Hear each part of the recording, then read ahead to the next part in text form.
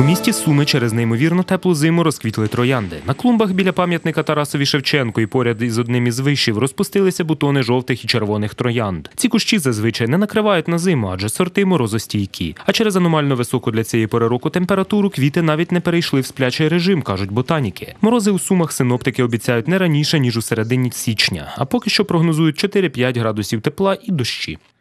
Це сорти, які ще не увійшли у стадію фізіологічного зимового спокою. Такий спокій в наших ґрунтово-кліматичних умовах починається у рослин тоді, коли е, середньодобова температура е, сягає 0 градусів і тримається десь е, приблизно 3-4 е, тижні. Ну а оскільки ми мали в цьому році винятково таку теплу, е, теплий початок зими, в грудні практично не спостерігалося низьких температур, тому от троянди так вирішили собі ще побавити нас е, цвітіння.